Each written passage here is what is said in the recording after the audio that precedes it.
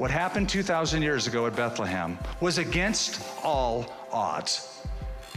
It was absolutely supernatural and staged so intricately.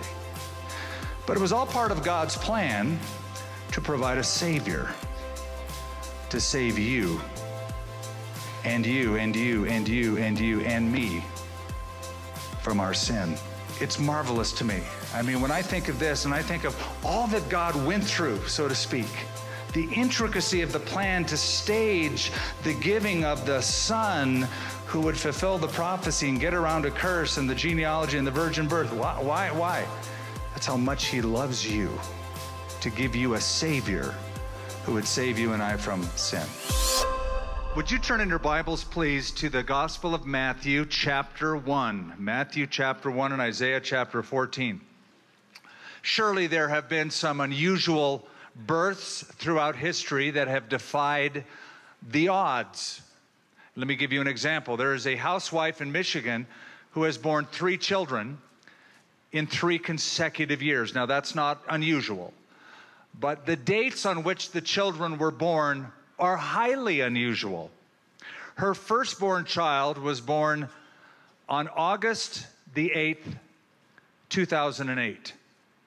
Her second child was born on September the 9th, 2009. And her third child was born on October 10th, 2010. So she has three children, and the birth dates are 08, 08, 08, 09, 09, 09, 10, 10, 10. You know what the odds of that happening are? One in 50 million. One in 50 million. That is against the odds. You would have a better chance of having quadruplets. The chances of a woman birthing, surviving, living quadruplets is one in 800,000. But if you were to have identical quadruplets, the odds are one in 13 million. Then, of course, the more children you have, the odds go down precipitously. Uh, for example, the chances of having surviving sextuplets. Can you imagine having six children at once? It's one in 4.7 billion. But the Guinness Book of World Records gives the honor of beating the odds to a California couple who in 2009, January of 2009, gave birth to octuplets, eight surviving children, six boys and two girls.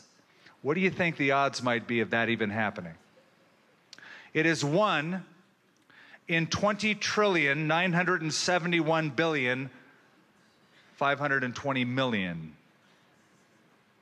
However, I think it's safe to say that the undisputed winner of unusual births is the Lord Jesus Christ, who fulfilled numerous predictions that were given of his birth well in advance. Micah predicted he would be born in Bethlehem, and he was. Hosea predicted he would be called out of Egypt, and he was. The prophet said he would arise out of Galilee, and he did, out of the little town of Nazareth up in the Galilee region. And if you remember in our very first study of Against All Odds, we noted that the odds of one person fulfilling just eight of the predictions Jesus fulfilled is one in 10 to the 17th power. Against all odds. Now, today we come to perhaps the strangest prediction of all that the Messiah will be born of a virgin. And can I just say, the odds of that happening are not good. A virgin birth. As you open to the Gospel of Matthew, chapter 1, you notice a list of names that we're not going to read at the beginning of the chapter. He begins with a genealogy. And he does that because he is giving messianic credentials to Jesus. He is showing you that he fulfills genealogically everything that is necessary. He's from the seed of Abraham, from the tribe of Judah, and from the royal lineage of King David. And then he turns to prophecy. He shows us that Jesus is the fulfillment of all of those predictions that were made in the Old Testament. And the first fulfilled prophecy that Matthew brings out is a virgin birth, that there would be a biological miracle, that a child will be born without any contribution of a human male whatsoever, but that he will be conceived by the Holy Spirit.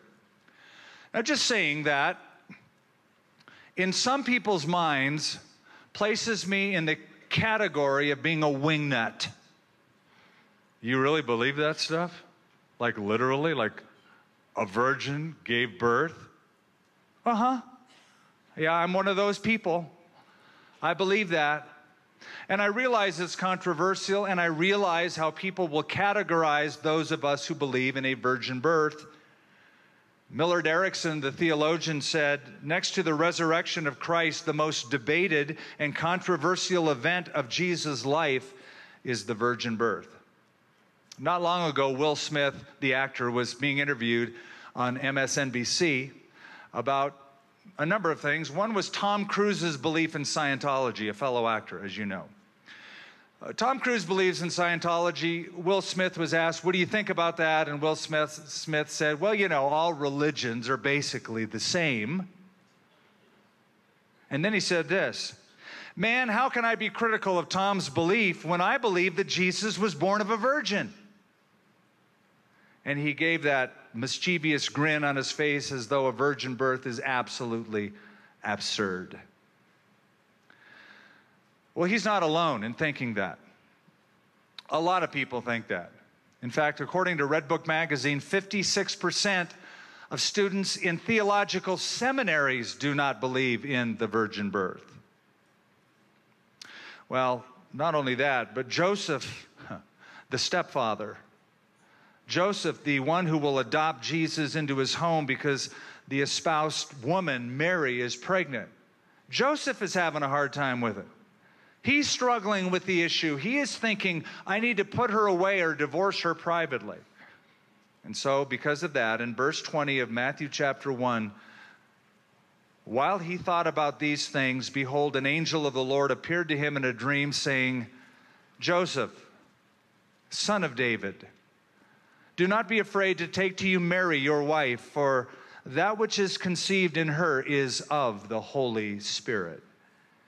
And she will bring forth a son, and you shall call his name Jesus, for he will save his people from their sins. Now, notice the phraseology. Notice that the angel doesn't say, You guys are going to have a son. No, your wife is going to have the son because she's conceived by the Holy Spirit. You had nothing to do with this, Joseph, as you know. And your job is the easy job. You get to name the child. She's going to have the baby. You get to name the baby. And the name you will give the baby is Jesus, for he will save his people from their sins.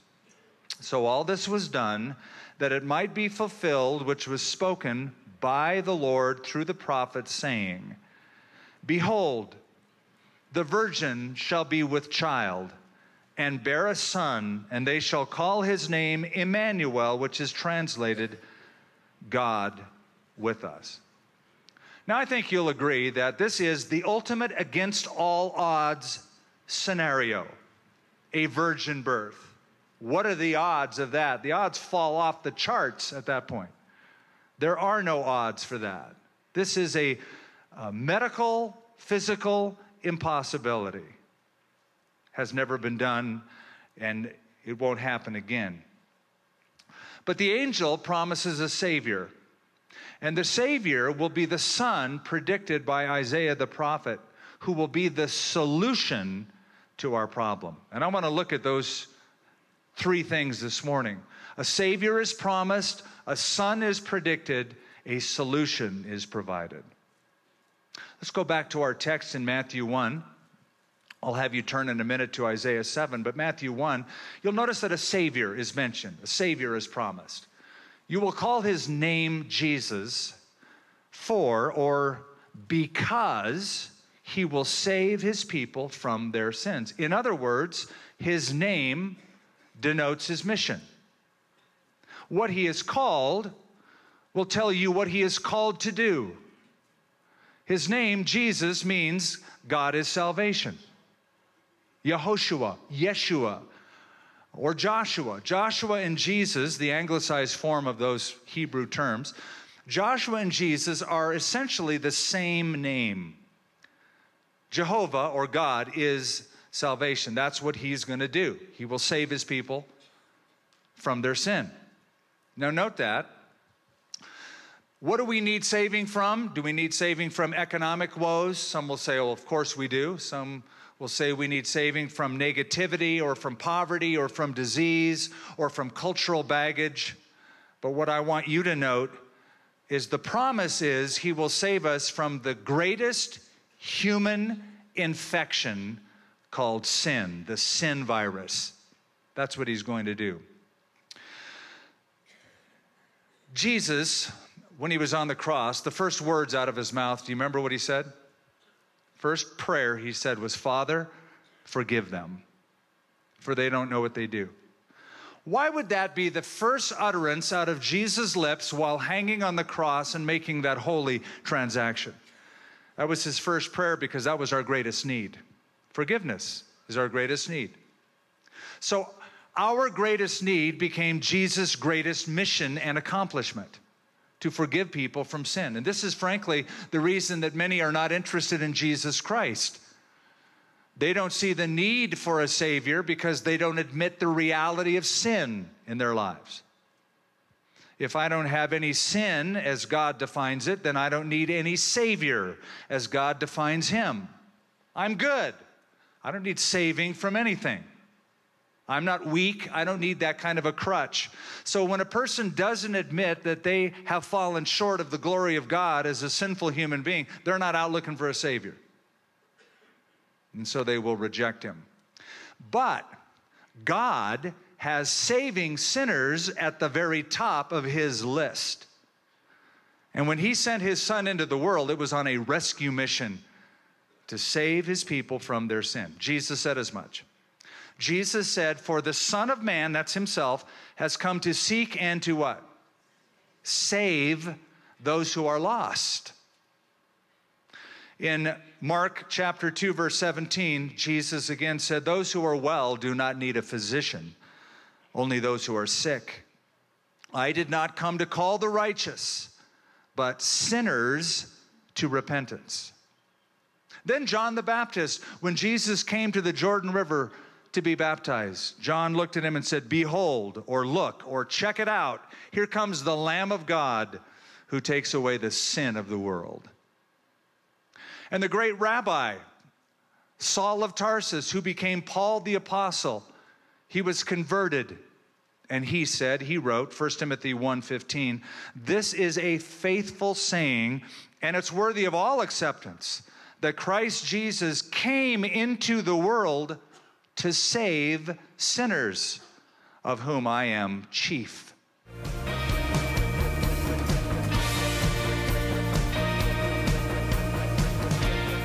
Hi, I'm Pastor Skip Heitzig, and I want to welcome you to God's opening act, the book of Genesis.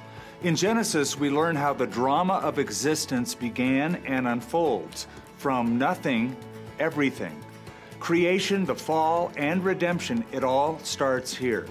And in my newest book, You Can Understand the Book of Genesis, I'll walk you through foundational topics such as the formation of the world, the fall of humanity, the flood, and the fallout from rebellion, and introduce you to four great men. It'll be quite a journey.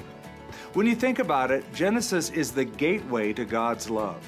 It's where we encounter God and His expression of Himself. It's also the first look at God's answer to sin, Jesus, the seed who will save the world. So, I invite you to join me on the journey of discovery through the pages of God's book of beginnings, back to where it all began. I believe that if you open Genesis, the Bible will open to you. In addition to the book, there are more resources, including interviews and articles, at understandthebook.com. You can understand the book of Genesis. It all starts here. I still have that Christmas card. I've kept it for years on file. On the front of the card, it says, If our greatest need had been information, God would have sent us an educator. If our greatest need had been technology, God would have sent us a scientist. If our greatest need had been money, God would have sent us an economist. If our greatest need had been pleasure, God would have sent us an entertainer. But our greatest need was forgiveness. So God sent us a Savior. That is what the angel is basically saying to Joseph. You're going to call his name Jesus because he will save people from their sin. Everyone I've ever met has a deep sense that they need forgiveness from someone for something.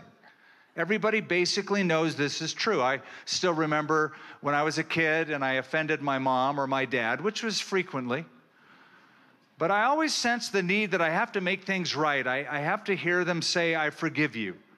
I have to seek reconciliation. I have to get forgiveness. I wanted it more than anything at some points.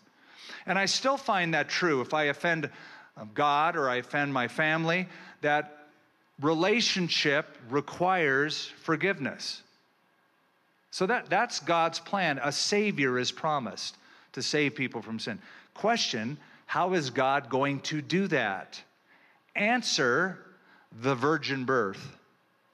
The virgin birth is absolutely necessary to solve our dilemma our problem. I'm going to show you that before the study is finished this morning. So, a Savior is promised. Second thing I want you to notice is that a Son is predicted. Now, go back to Matthew 1, and please notice that Matthew quotes an Old Testament passage. He's quoting the prophet Isaiah, a prophet who wrote and predicted about the Messiah 700 years before Jesus was born. And so I want you to turn back to Isaiah 7 since you've already read Matthew 1. Go back to Isaiah chapter 7, and I'm going to begin in verse 10. Moreover, the Lord spoke to Ahaz, saying, Ask a sign for yourself from the Lord your God. Ask it either in the depth or in the height above. But Ahaz said, I will not ask nor will I test the Lord. He sounds so spiritual. Then he said, This is Isaiah the prophet, Hear now, O house of David, is it a small thing for you to weary men, but will you weary my God also? Therefore, the Lord himself will give you a sign. Behold, the virgin shall conceive and bear a son and shall call his name Emmanuel. When Isaiah spoke these words, looming on the political horizon, dark, threatening clouds were there. Let me explain. There were two kings north of Ahaz. You see Ahaz mentioned in our text. He was the king of Judah in Jerusalem. And you know that by this time the nation of Israel was split north and south. Israel in the north, Judah in the south, 10 tribes, two tribes. So during this time when Isaiah is prophesying, the king of Israel by the name of Pekah and the king of Damascus in Syria by the name of Rezin formed a coalition to fight against another king further up north, a superpower looming called Assyria the Assyrians were about to take over the world. So these two kings, Pekah and Rezin, formed a coalition to fight against him. They tried to talk King Ahaz down south into joining the coalition. He would have nothing to do with it. So those two kings, Pekah and Rezin, threatened King Ahaz in Jerusalem. Okay, you're not going to help us? We're going to come and attack you. So Ahaz does an end run. He gives money, a bribe, to the king of Assyria that the two kings are trying to fight against form a coalition, he sends money to him and says, Would you please attack those two kings before they attack me? so in walks Isaiah the prophet. And Isaiah the prophet says, Just want you to know, God is going to protect you and Judah He's going to keep you safe. Nothing's going to happen. He's going to protect you from those two kings. Then Isaiah said, Okay, now ask God for a sign. And Ahaz sounds very spiritual, goes, I'm not going to test the Lord. Well, what he really meant is, I'm not going to trust the Lord. Because he has already shown that he doesn't trust God by trying to hire out mercenaries to kill his enemies instead of trusting the Lord to do it. So Isaiah said, Okay, fine. I'm going to give you a sign. God's going to give you a sign. The word you is in the plural, not just you personally, but y'all a sign. I'm giving the whole house of David, God's going to give the whole house of David a sign. And he predicts the virgin birth. Now, whenever you see the word or hear the word sign in the Bible, it's a pretty special thing that's going to happen. A sign is the disruption in the natural flow of things. It is a supernatural event. Example, the Red Sea parting, that's a sign. A fire falling from heaven and consuming Elijah's sacrifices, that's a sign. A miraculous physical healing, that's a sign. Well, what's this sign? Look what it says the virgin shall conceive. Now, that's quite a sign, right? That's a supernatural event. That's a sign. That's a mega sign. When the ultrasound shows a virgin girl who has never had any physical relationships with a man suddenly pregnant, that's a sign of something.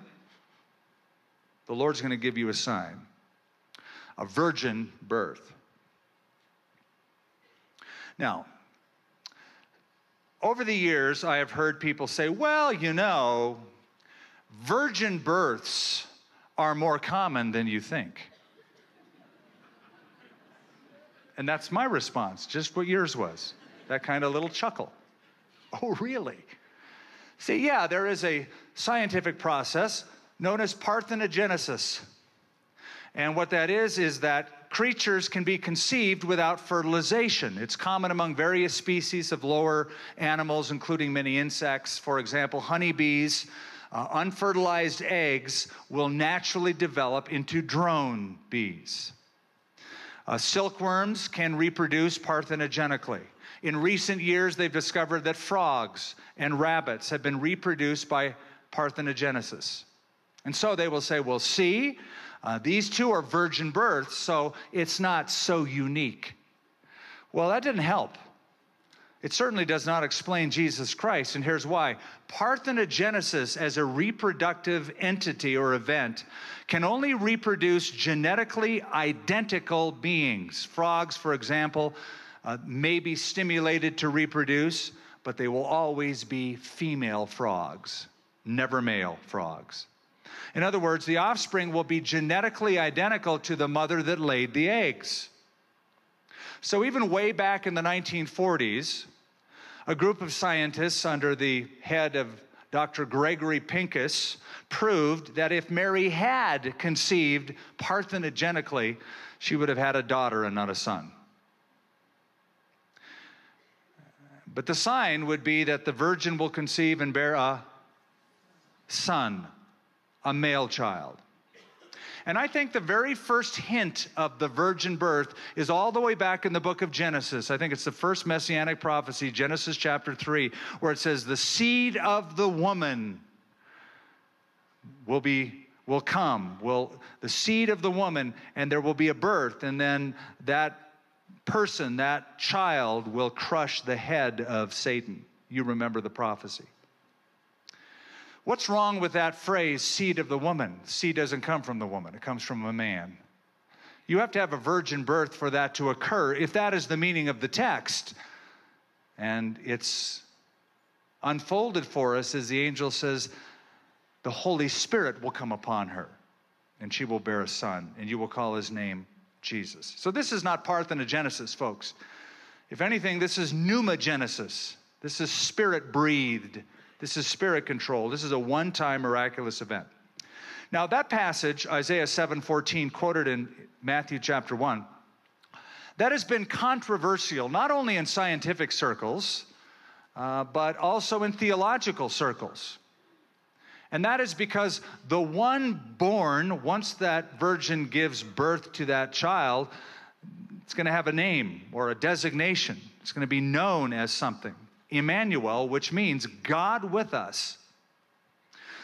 So, as you might expect, modern Jewish scholars deny the virgin birth and deny that Isaiah chapter 7 has anything at all to do with the messianic prophecy whatsoever. Because I told you last week, they saying when the Messiah comes, he's just going to be a human being. He's not going to be God, not going to be born of a virgin, etc. So they deny that. Here's my question. If you look at Isaiah 7 and you have to say, okay, if this isn't the Messiah, then who is it? You will be hard pressed to get a cogent answer to that question. So, if this isn't the Messiah, who is it? Because if you're going to ascribe this to any human being at all, it sounds ridiculous. A virgin's going to conceive and bear a son, and you're going to call him God with us. Well, that must just be a king. That just must be some guy.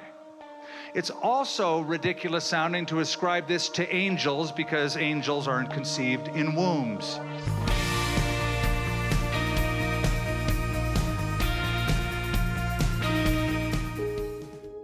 Do you ever wonder if God really did create the world in seven days? Was the Tower of Babel real? Why did Cain murder his brother Abel? And just how big was that boat Noah built? Find the biblical answers you want to questions like these when you get Pastor Skip Heitzig's newest book, You Can Understand the Book of Genesis. Genesis is the key that unlocks your understanding of the rest of Scripture not just the origins of man, but also the origins of man's redemption. That's why we'd love to send you your copy of You Can Understand the Book of Genesis when you give today to help connect more people to God's Word on this and other stations. So call now to get your copy of this helpful resource when you give 800 922 1888. That's 800 922 1888. You can also give online at connectwithskip.com/offer.